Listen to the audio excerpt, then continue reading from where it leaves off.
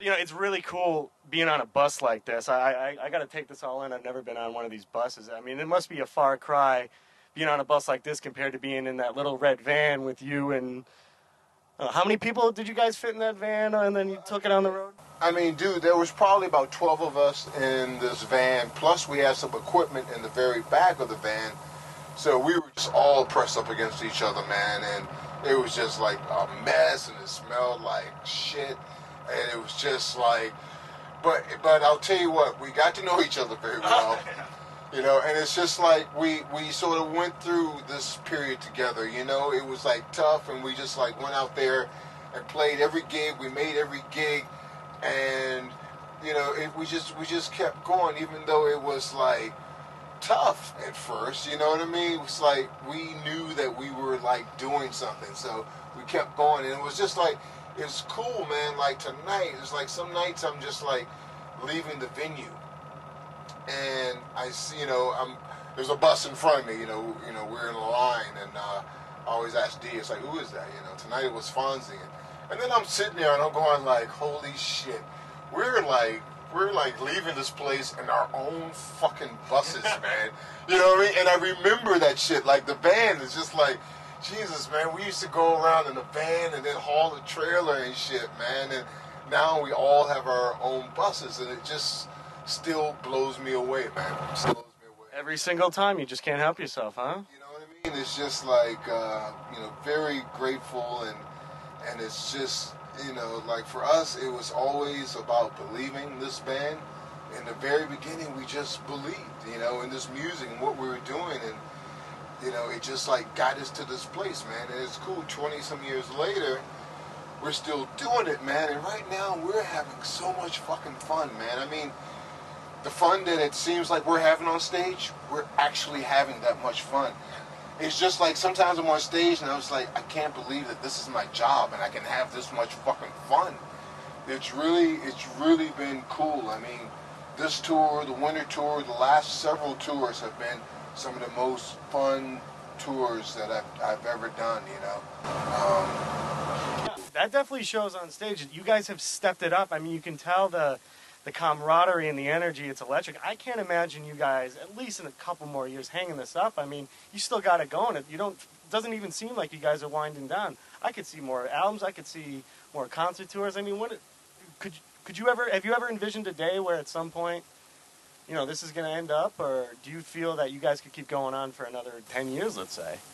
I don't think about that too much, man. I mean, we we never have talked about that like in our careers is just like you know when you know like we might end it here we might end it there we just go like just gig by gig summer by summer man and it's it's it feels like we're entering into a whole new different phase of this band it's like um, I mean, it's almost like we're just starting again, you know? It's just like we're starting, but we're going to a whole other place. You know what I mean? In our music, and it's it's it's cool, man. I, I I don't think. I mean, we don't know.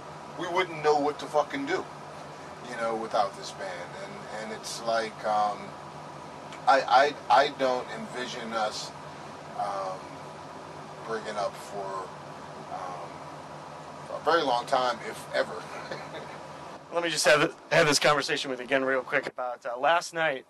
You guys pulled out a song that hasn't been played in 10 years that I know that people on message boards and fans and Narnia and everybody had wanted to hear this song and you played True Reflections and you guys didn't miss a beat. What was it like playing that song again for everybody here in, in uh, Boston? I was like, I hope I don't fuck up the words. and uh, it sounded right on, man. thank you, man. It, it was fun, man, and it was just like everybody. A lot of people have been asking me for about a year or so. It's just like, when are you going to play True Reflections? And uh, I was like, well, well, we'll do it eventually. I promise we'll do it. We'll do it. And, you know, like this summer, we decided to come in and just like bring out a whole bunch of songs we haven't played in a long time. So I was like, okay, this will be a great opportunity to do True Reflections. And I called up Dave like about a week ago and I was like, dude, you want to do True Reflections? It's like, yeah, man, we'll do it at the next gig. And so you know, we you know we just broke it out, rehearsed that afternoon, and it like, you know, everything just sort of came back to us, man. And it's fun when you play a song that you haven't played in a long time because it's fresh again. You know, it's like it's it's it's a whole new song again. You know, and it's uh, it was fun, man. I enjoyed it. Yeah, it was it was great. You guys definitely made it your own, and you can tell the quality of it. It's like it's like you've been playing it all these years. You didn't even you didn't miss a beat with it. Now, do you see?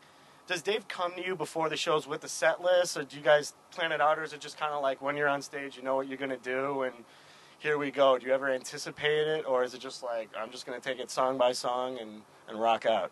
Like uh, when when I'm looking at the set list, you mean? Do you you know do you do you kind of look at it beforehand, or do you just get out there and, and go and do it?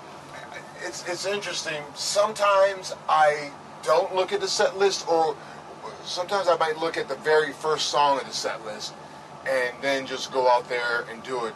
Sometimes I don't look at the set list at all, and then just go out there and do it. You know, it's just it's almost like depends on like where my frame of mind is that night. You know what I mean?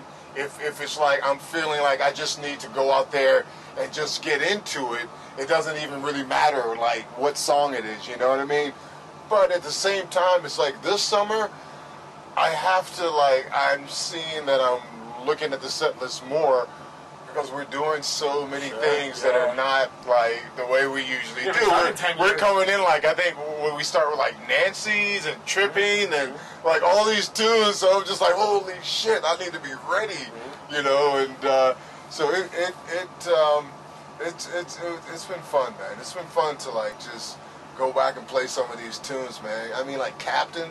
That was another tune that I know that's like, one of your favorites. I love Captain, man. I love Captain, man. But it's so much fun that we brought uh, brought that back, and it's like uh, I'm, I'm excited. We're, we're having a lot of fun, man. Is there? There's got to be a certain tune. I mean, there's just certain Boyd songs that you know you're just gonna get the ultimate solo. If it's Nancies or Jimi Thing or Lie in Our Graves, which song do you really make your own? That you're just like you. I mean, you step it up for every song, obviously, but there's got to be that one tune where it's just like this is your moment, and you're gonna rock the hell out with everybody. I mean, it's hard to say, you know. I mean, ants may be one, you know, and um, you know, and and I think that like all the songs that I like do solos on, it's just like I particularly like just lately I want to take them to like different places, you know. Like tonight when we did um, Crush, Yes. it was just like I came into Crush like in a way that I've never gone into it, and because I did, it just took the song in a whole different direction, and it was like so much fun, man. And so it, it all depends. Like sometimes, you know, a song that I'm not expecting, you know, to like be like a great, not like a great solo, but it's like this is going to be one that I'm going to be jamming on. You know what I mean? And it's just like you, but you get into it, and sometimes you just you go with it, and things just happen, man. It's just like wow, this is like a whole new different vibe to this song, you know. And it's just like 41 is one of those tunes that like lately has taken on like a whole different, you know, um, just like vibe for me. You know what I mean? It's just like I, I I'm feeling it differently, and it's um, I don't know. It's fun. It's just like it's it's very playful, you know, and uh, it's and I'll, and I'll tell you, it's it's really cool the chemistry in this band because it's just like I'll find myself playing off of different people, and it's like when I go over to Dave and I'm jamming with him, I'm also like vibing off of him. I'm like playing off of him, and it's like he brings out something in particular in me.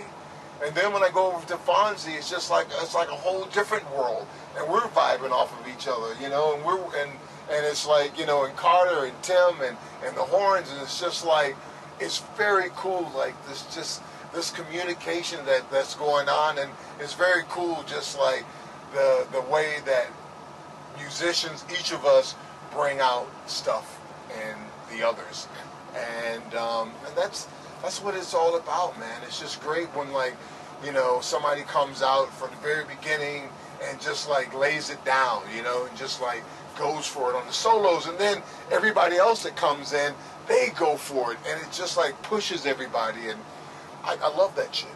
Well, for me, it's got to be Lie in Our Graves, but we'll we'll leave it at that. We'll leave it at that. And also, too, you uh, you put out a movie last year, Faces in the Mirror, and you even did your own separate tour. You know, screening the movie, performing gigs, meeting fans. obviously that was a lot different than playing in front of 20,000 people. Was that hard for you to get used to, or did you just, you must have loved doing that? And uh, do you have any more plans on doing another movie, or it was so great how you just got everybody together across the country to hang out, watch your movie, and see some live music. A lot of musicians and bands don't do that, so that must have been a very unique uh, experience for you to do. Yeah, it was cool, man. It's something I wanted to do for a long time. It's like tour a movie with musicians and uh, you know and a band and um, and ju- and then just do it myself. You know, I just wanted to make a movie, make a movie my way, and just put it out there. You know, myself and you know without any like influence of you know um, you know we, we, we have a, a digital distri- uh, distribution deal with Snag Films. Um, and they're very cool to work with. They're very loose and they like like let us just like do our own thing, you know.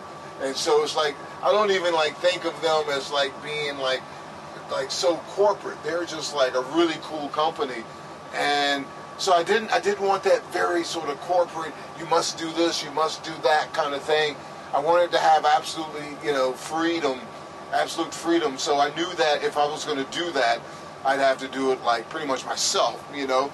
And and I did, and it was it was fun, man. It's great to go do the screenings around the country, um, and just you know meeting a bunch of people, playing with a, a bunch of bands.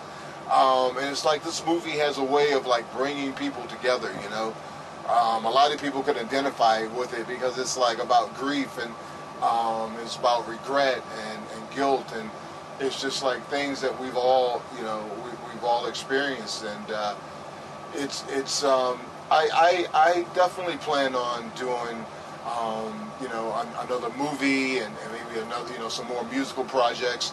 I love being in the studio. I love producing, you know, and I love just like creating, just like you know, music and creating like scenes and and and just like bringing out like the drama of it, you know. What was so unique about the movie too is you did the music first, and then you did the movie, right? Isn't that uh, which is a little unconventional? Usually it's the movie, and then you put the music around the movie. But you had the music in your head, and then you you had the script, and then you filmed that. I mean, that's a unique process to do, but it, it came out it came out right on. That must people were probably like, "What the hell is this guy doing?" But uh, you pulled it off right. It's interesting. I mean, uh, that's kind of like the way that I think. You know, it's like for me, it's like in the uh, movies and music. I mean, uh, music and movies. It's just like they. To me, I love it when they like like match the emotional like tone of what's going on on the screen. So it's like it like heightens the emotional feel that you get from it. And so to me, it's just like if you know the vibe of the movie or what's going on, it's just like you can do the music, you know, because you bring the music from that same place, you know. You tell that story to the musicians and you just let them open up freely and you know, by opening up freely and not being contrived about it, it brings out this magic that you can't get any other way. And and then from there it's like, yeah, we, we took that music and we um, you know, we, we made a movie around it. Everybody listened to the music everybody got the vibe, the director and um, the actors and the crew and the screenwriter and you know so everything centered around that and it was fun. It was like we had to sort of invent this process as we went along. You know, it was like it was like a theory, you know, Yeah. going into it. But you know, we, we, we made it we made it happen. You know, just like purely out of belief and just like really going, you know, from the heart. You know, for me it was just like it's not done until we can feel it. You know what I mean?